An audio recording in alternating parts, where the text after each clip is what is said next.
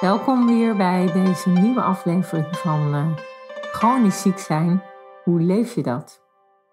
Over dat wat we tegenkomen als we te maken krijgen met een chronische ziekte. Hoe doe je dat?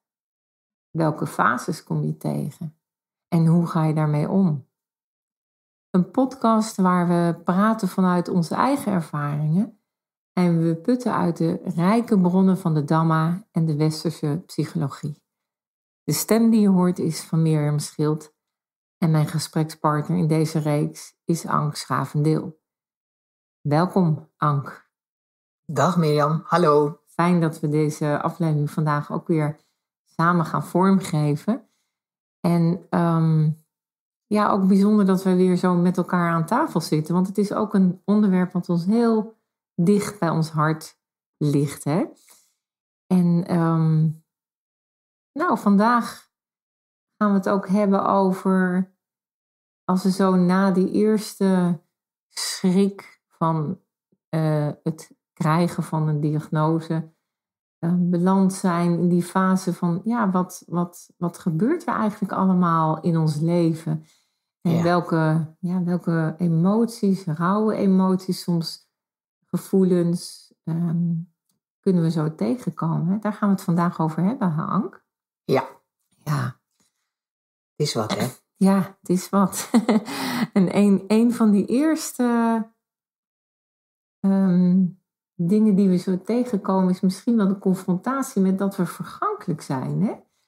Dat we die, die, die, die, ineens zo die bewustwording van, oh, ons leven is, kan dus zomaar eindigen. Iets wat we natuurlijk allemaal wel weten. Maar wat we toch allemaal een beetje zo als een soort ver van mijn bedshow houden. Ik, ik, ik weet nog dat ik in het ziekenhuis lag. Ja. En ehm, ja, dat ik naast het feit dat ik uh, gediagnosticeerd werd met de leveraandoening, dat er ook een vraag was of er iets was met mijn alvleesklier. Ja.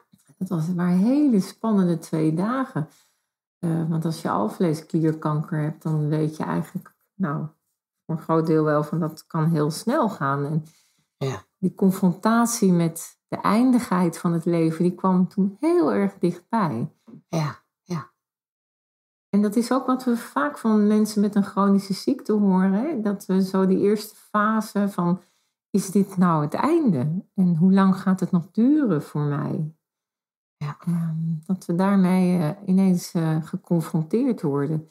En dat ja, dat leidt dan ook tot hele, misschien wel diepe overwegingen over uh, de waarde van je leven, ja, je eigen waarde. Ja. Um, ja, misschien ook wel je prioriteiten.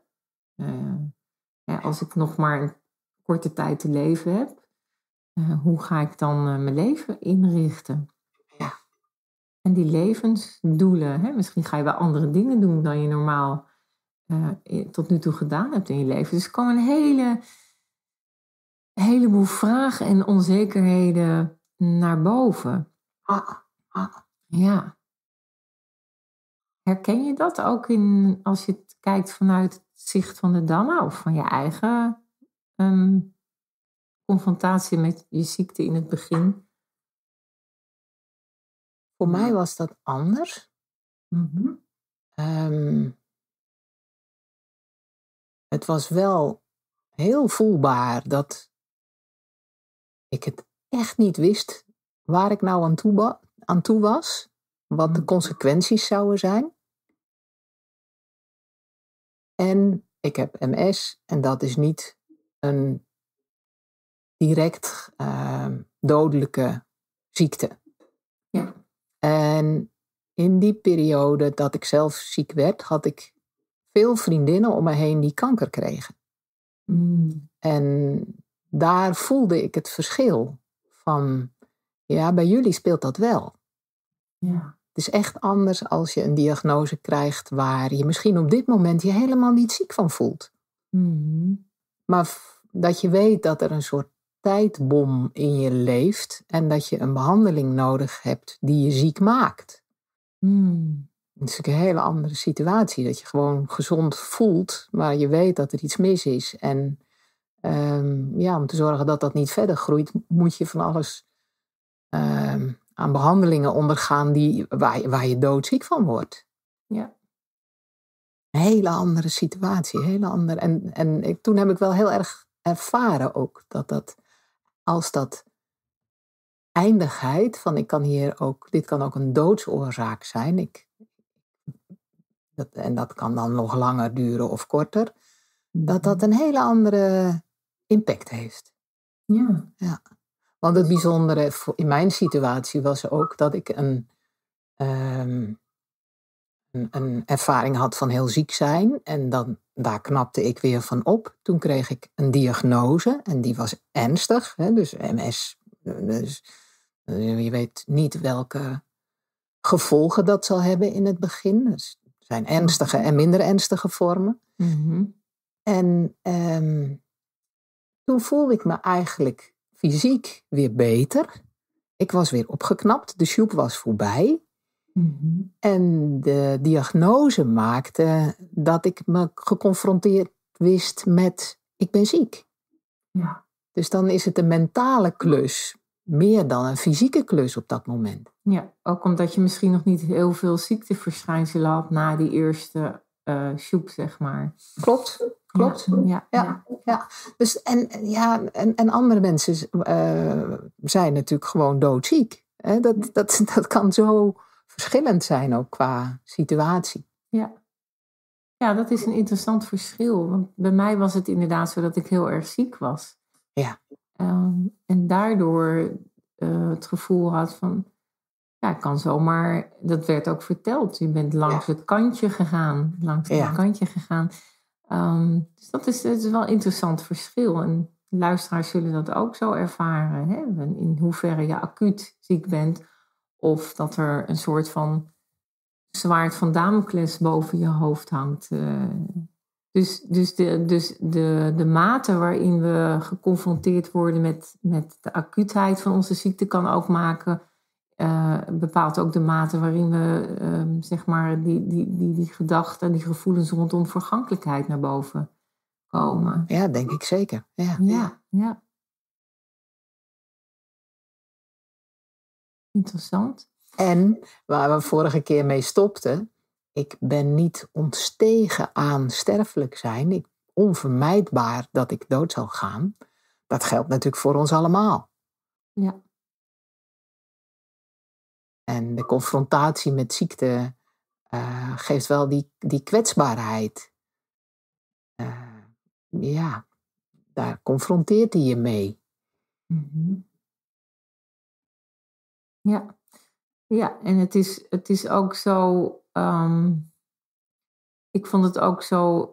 ehm, ja, lastig of lastig, maar, maar, maar toch wel confronterend van. Wat een emoties komen er dan naar boven. eh, en en, en, en eh, daar heb je maar allemaal mee te dealen. Ja.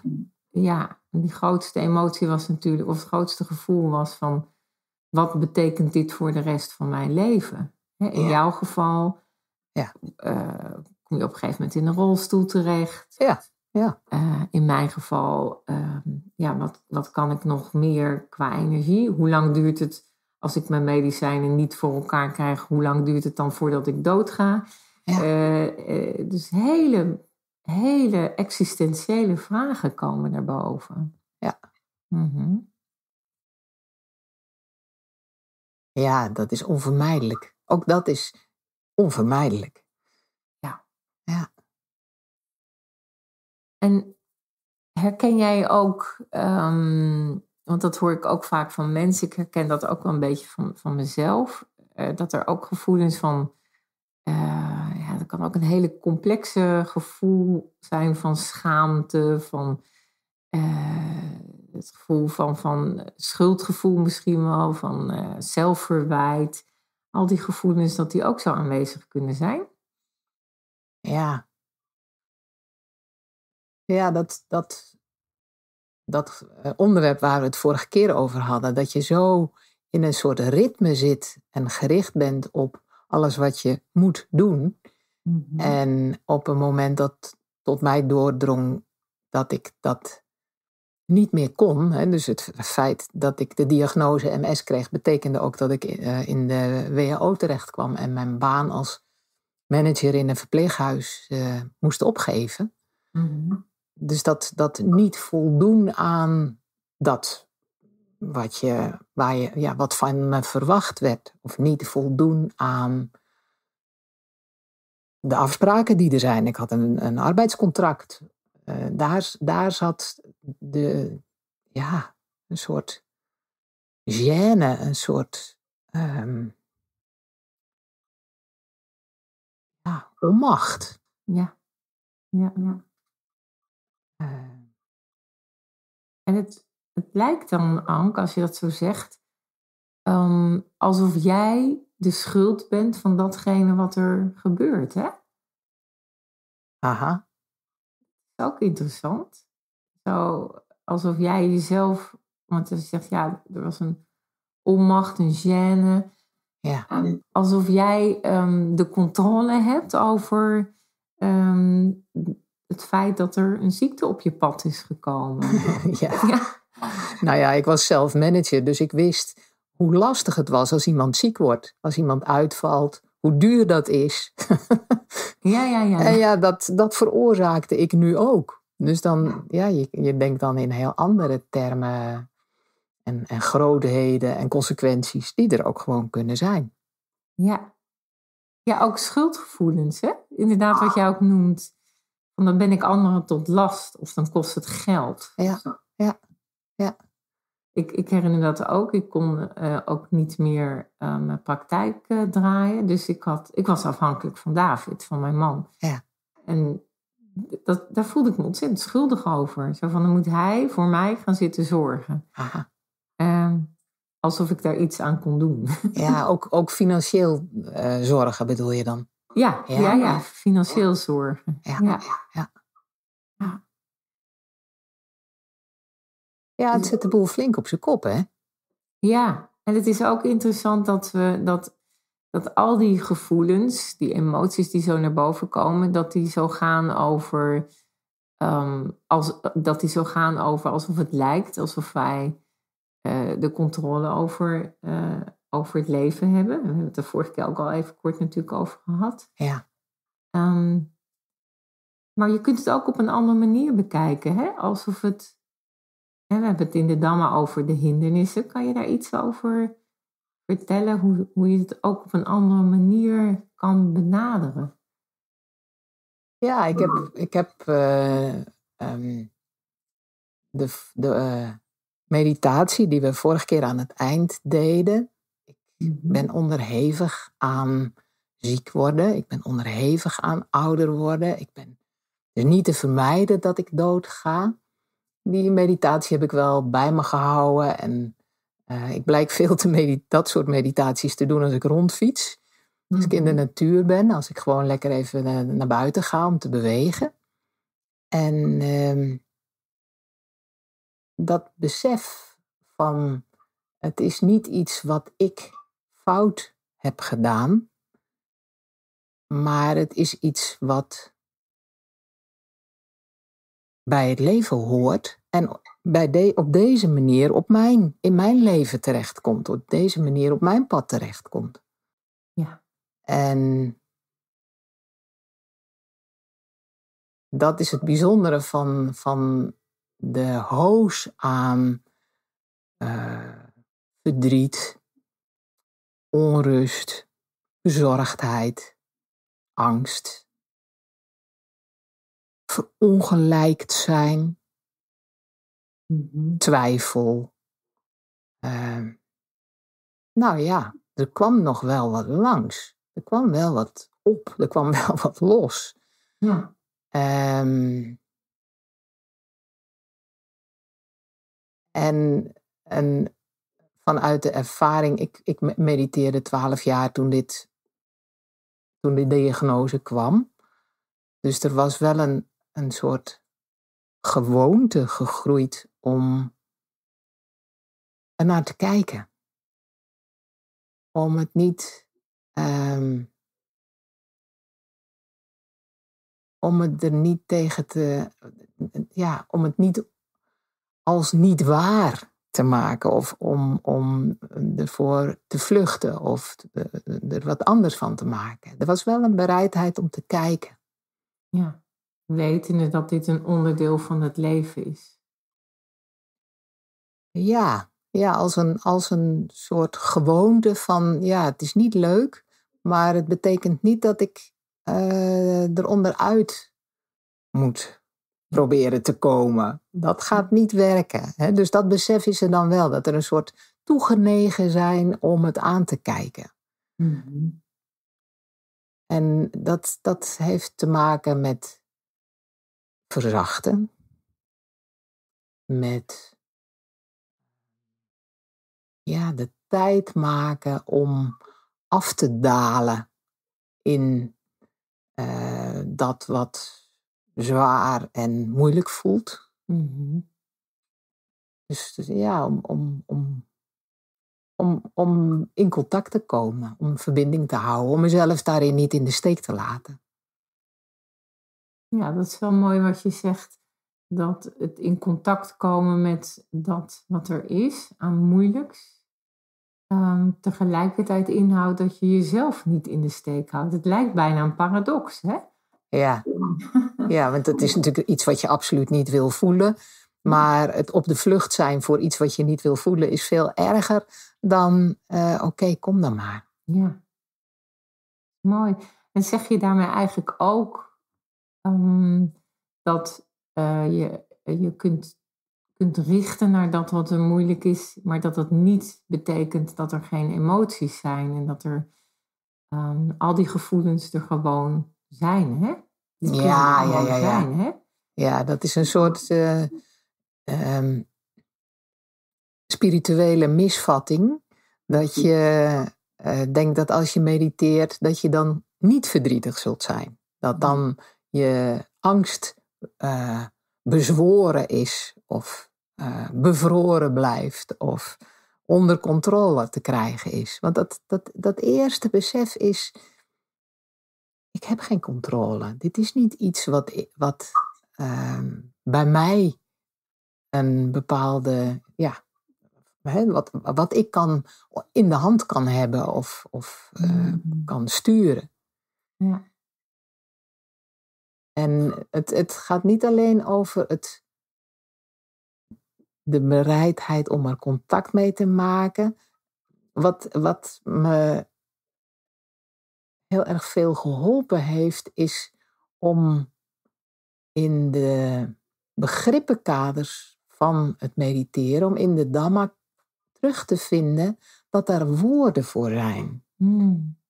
Dus hmm. dat, dat er algemeen geldende kaders zijn die dat wat ik voel en dat waar ik in ronddwaal met al mijn verhalen, met al hoe, ja, hoe, hoe mijn geest daar dan zijn, zijn uh, storyteller teller mind op loslaat.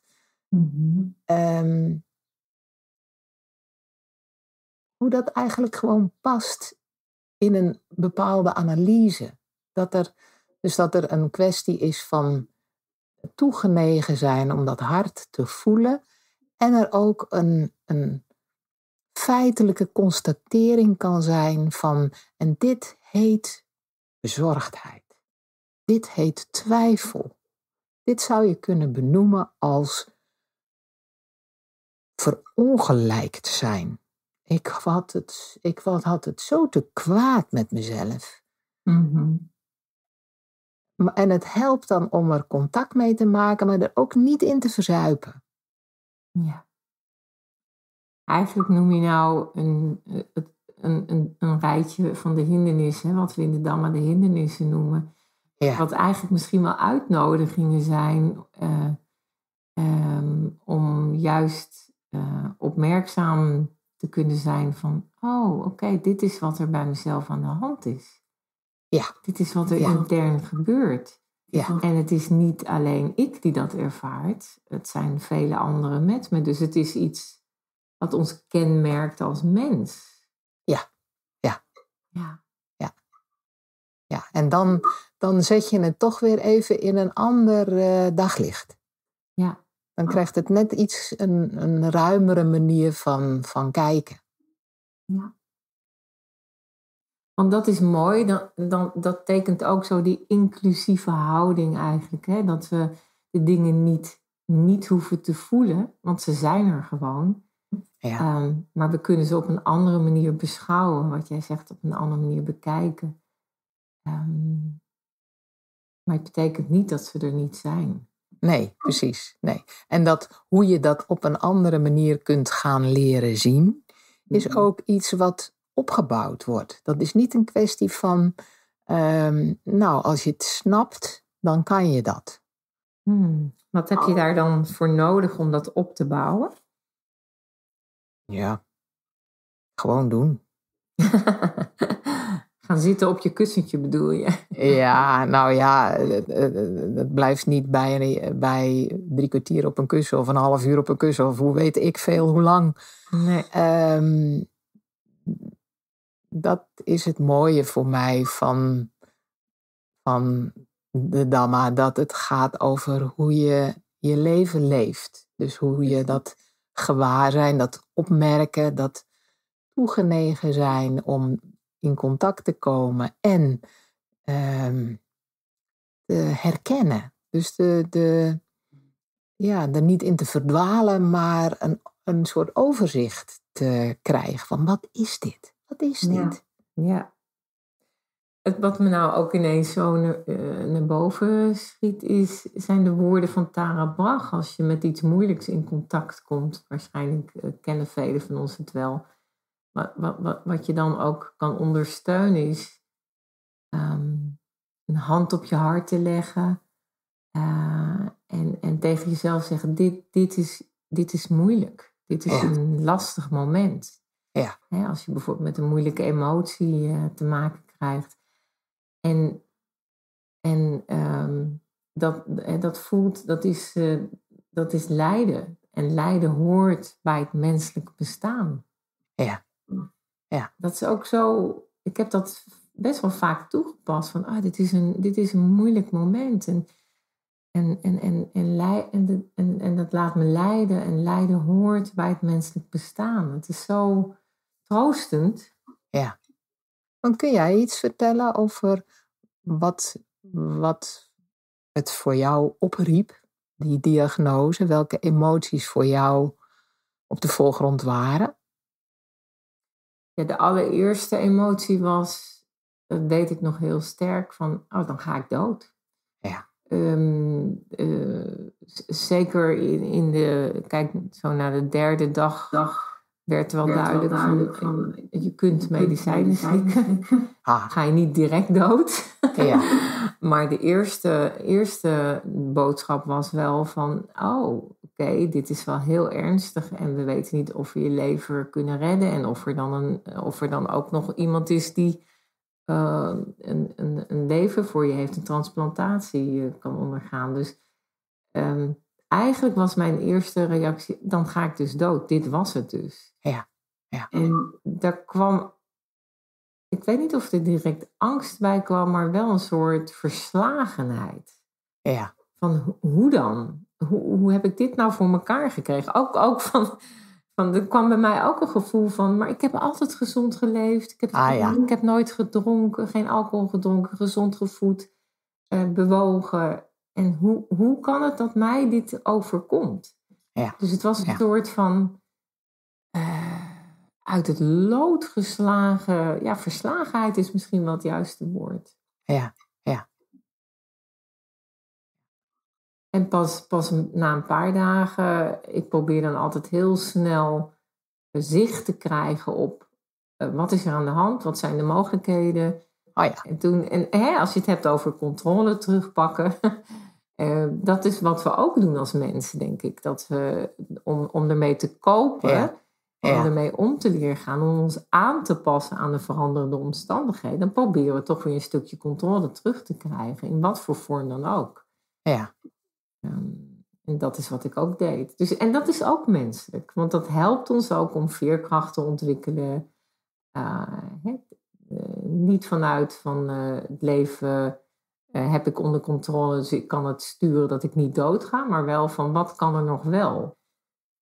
Ja, dus er komen allerlei rauwe en minder rauwe eh, emoties, gevoelens naar boven, die, die, die, waarvan jij zo mooi zegt, die we ook op een andere manier kunnen kaderen.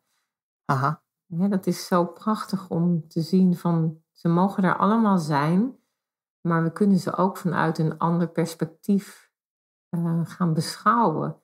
En dat maakt het zo helpend hè, op, uh, in het omgaan met, um, nou, in dit geval het krijgen van een diagnose of het omgaan met een, met een chronische ziekte. Ja, ja. Ja, het klinkt me bijna te makkelijk hoor, Mirjam. Mm -hmm. Van, um, ik denk dat je praat over een proces van een jaar of drie. Ja, zeker. Dus het is niet iets van, uh, nou, meditatie geeft de quick fix. Als je maar goed mediteert, dan, uh, ja, dan weet je die dingen en dan kun je ze ook toepassen. En dan overkomt je niet dat je er zo door uh, bevangen bent. Ja, dat overkomt je gewoon wel. Ja, want jij hebt me ook wel verteld, en dat ben ik helemaal met je eens, Ank, dat je um, op een gegeven moment ook depressieve gevoelens ontwikkelde, hè? Ja. Ja, dat. En dat was ook een, een gevoel van. Uh, in het begin was er heel veel aandacht van de mensen om me heen. En op een gegeven moment waren die allemaal weer verder gegaan met het gewone leven. En toen kwam er eigenlijk bij mij pas een soort besef los van wat betekent dit eigenlijk?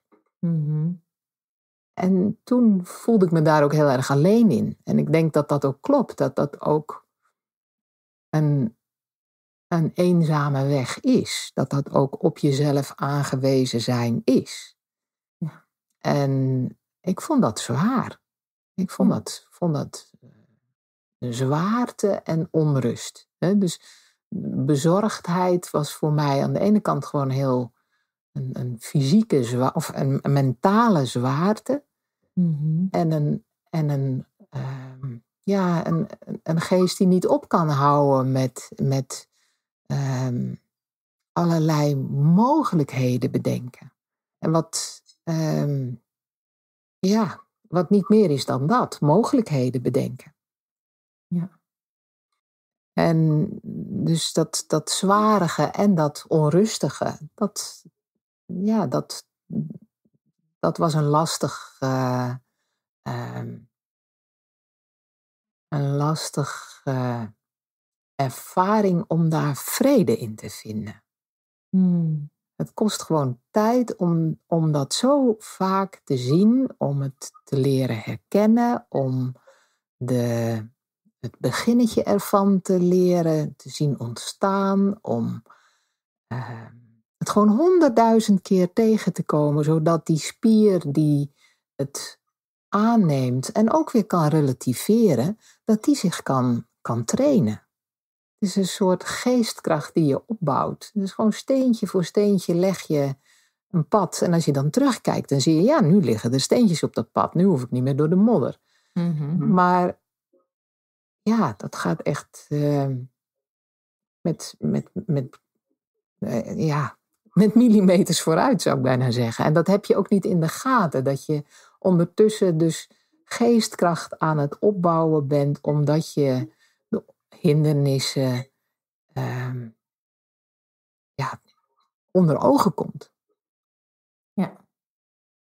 Ja, het is heel mooi dat je, dat je ook zegt dat het niet een pad is wat je in één jaar afloopt. Het, uh, hè, het duurt een aantal jaren voordat je voelt dat je op wat steviger grond staat. Maar.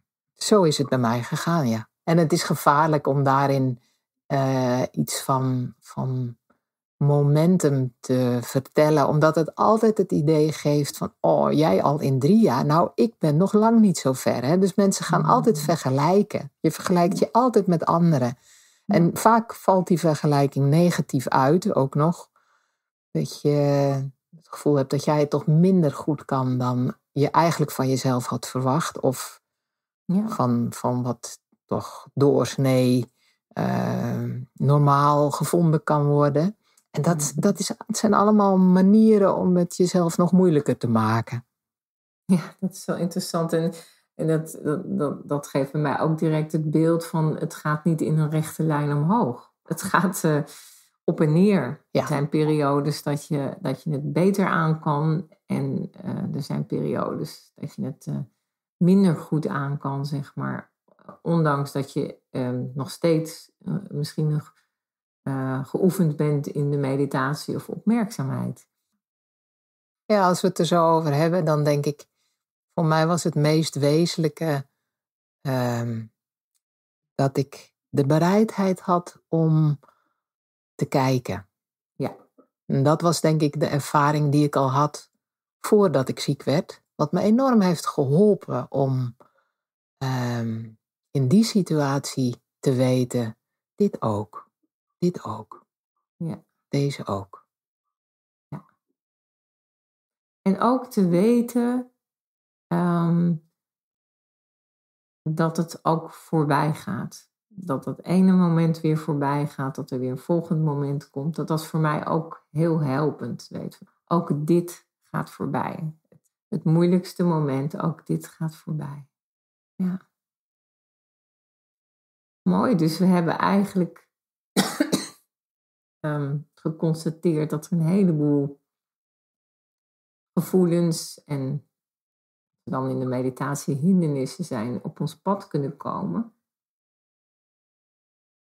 En tegelijkertijd bestaat er ook een manier om daar eh, ons toe te verhouden.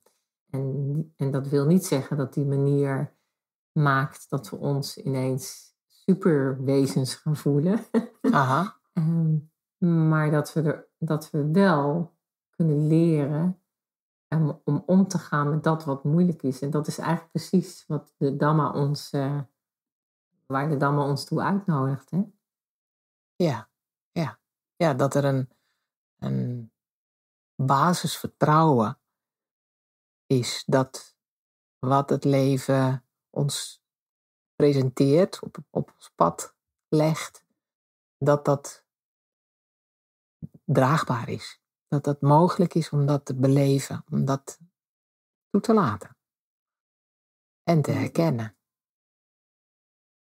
Mooie woorden om mee af te sluiten, Ank, denk ik zo, deze aflevering. Zijn we alweer aan een eind? Ja. Oké. ja, grote dank ook weer voor uh, dit samen overwegen. Van hoe ga je om met dat wat er op je pad komt als je geconfronteerd wordt met een chronische ziekte. Je had volgens mij nog een, uh, een paar hele mooie regels om mee af te sluiten, geloof ik.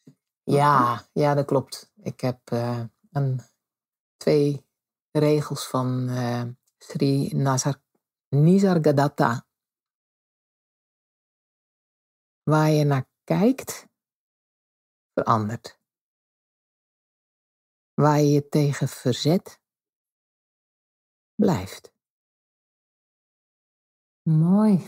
Daar sluiten we vandaag mee af. Dank uh, voor het luisteren. En uh, dit was weer een aflevering van de podcast Chronisch ziek zijn, hoe leef je dat? Word je blij van deze podcast? Voel je dan vrij om, uh, om het te delen. En blijf ons vooral volgen, want er, er komen nog een paar afleveringen. En dank ook aan 13 Now die deze podcast mede mogelijk heeft gemaakt. Wil je meer podcast, meditaties, lezingen en boekbesprekingen zien of luisteren? Kijk dan vooral op de site van 13 Now. En dank lieve Anke voor deze aflevering zo samen. En uh, tot een volgende aflevering. En we hopen dat je er weer bij bent. Dankjewel Mirjam.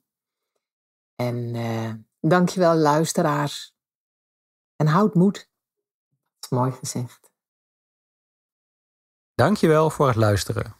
Wil je meer weten over onze cursussen, live meditaties of verdiepingsreeksen? Ga dan naar 13now.nl.